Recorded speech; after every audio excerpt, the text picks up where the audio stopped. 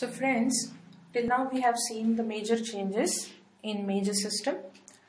Cardiac system, we have seen that the heart has more work to do, the heart rate has increased, cardiac output has increased. In renal, we have seen the blood flow increases, there is sodium retention, that's why there is more water retention. Then other system we have seen is vasculature, there is peripheral resistance decreases, thus blood pressure decreases. Hematological changes, that there is increased in blood volume, but the volume of plasma increases more in comparison with RBCs. Thus there is hemodilution. Clotting factors, they increase. That makes a pregnancy that is hypercoagulable state. Now what remains are respiratory adaptations in which there is no change actually in the respiratory system. The respiratory rate is system, uh, same, uh, inspiratory reserve volume is same, vital capacity, there is no change. There is little change in the transverse diameter which increases by 2 centimeter. The circumference also increases by 5 to 7 centimeter. What is more important is there is increased tidal volume. Again this has come as an MCQ that in the respiratory system the changes is increased tidal volume. How they ask question on this topic is they will say following are the changes taking place in pregnancy except and they might give one change from cardiovascular, one change from respiratory system, one change from endocrine. So you have to understand which system has more significant changes and we, which you have to remember from MCQ point of view. Gastrointestinal, the motility decreases. So usually these patients, they complain constipation. There is relaxation of the lower esophageal sphincter, so GERD is common. Nausea, vomiting, often related with the HCG levels. Nausea is very common for first three months and sometimes patient has vomitings. In hyperemesis condition, the vomitings are much more, which needs admission and treatment.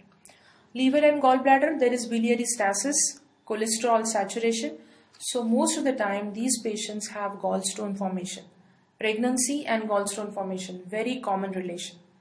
Coagulation factors, there is increased binding globulin. Nervous system, Functional changes are seen especially in neurotic women. There are hormonal changes, so there are mood variations. But if the female is neurotic, those changes are more commonly seen. Uh, females they usually feel very sleepy and depressed during pregnancy because she has to also cope up with whatever changes her body is going to go through while others some some female they become very irritable excited and some are from insomnia nausea vomiting also has some neurotic element, uh, it is most commonly seen that a patient with hyperemesis gravidarum, we just advise them admission. Means we just want her to shift from her routine environment to a different environment. So she comes to the hospital and that change also makes the nausea and vomiting decrease. So it surely has some neurotic element. Change of appetite. Certain type of foods she just can't tolerate during pregnancy. There is aversion to certain types of food that is also related with nervous system and some neuralgias are also seen. Now coming to most important part that is endocrine changes. Thyroid function, there is hyperplasia of thyroid and parathyroid both glands. But remember, patient remains euthyroid. There is no change in T3, T4 or TSH levels. They remain euthyroid, means there is no symptom actually. I am coming to the values but patient remains euthyroid. There is increased TIBG via liver, increased total T4 and T3, but free levels are unchanged. I repeat myself, there is increased TIBG, there is increased total T3 and T4, hyperplasia of glands, but free levels of these hormones, they remain unchanged. So patient doesn't land up in symptoms of hypo or hyperthyroidism. HCG suppresses TSH, BMR increases. Patient's BMR increases during pregnancy. Again, a very important MCQ. Adrenal function, free plasma cortisol level is elevated and CRH from placenta stimulates adrenocorticotropic hormone secretion. The other important endocrine glands are pancreas. You have to understand this from diabetes point of view. Carbohydrate metabolism, there is insulin resistance in pregnancy. So lot of insulin is secreted. There is hyperinsulinemia. Pregnancy is a condition where insulin resistance increases and lots of insulin is there in the body.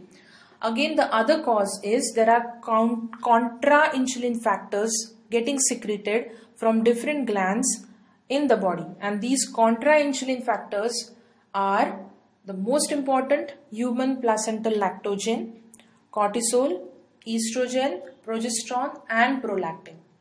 And because of increased insulin resistance and contra-insulin factors, it is a diabetogenic condition. Means a woman who doesn't have diabetes but still the body has diabetogenic condition during pregnancy. Lot of insulin, insulin level increase because of presence of these hormones. In pituitary, what happens in pituitary? There is increase in growth hormone, there is increase in ACTH and even prolactin increases. You can remember this as GAP. So all these three hormones, they increase in pregnancy. TSH levels remain same. FSH and LH, they decrease. So let's repeat this slide again. The first one, that thyroid function, patient remains euthyroid. Even though there is hyperplasia of thyroid gland, there is increased T3, T4 level, but free hormone level in blood remains normal, so patient doesn't have symptoms. She is euthyroid, but BMR increases. And in next slide, things to be remembered, there is increased insulin levels, hyperinsulinemia, because of increased insulin resistance and other the factors which are contra insulin means they against insulin they act like human placental lactogen cortisol, estrogen, progesterone and prolactin. They all have increased. That's why there is increased insulin levels, hyperinsulinemia. And pituitary, three hormones they increase. That is growth hormone, ACTH and PRL and TSH remains same. LH, FSH they decrease because of presence of pregnancy. So these are the physiological changes. We have to give iron supplements because physiological anemia is common in pregnancy. We have to take care of patient if she has a cardiac disease because cardiac load is going to increase in pregnancy. We have to have control over diabetes because pregnancy itself is a diabetogenic condition which we have to consider. If patient has diabetes, she is going to lose control on her diabetes in pregnancy because of all these factors. So these physiological changes they make us aware that what extra caution we have to take in pregnancy if it is associated with some other organic diseases or metabolic disorders. So I hope this lecture would help you in understanding and also answering the MCQs. Thank you.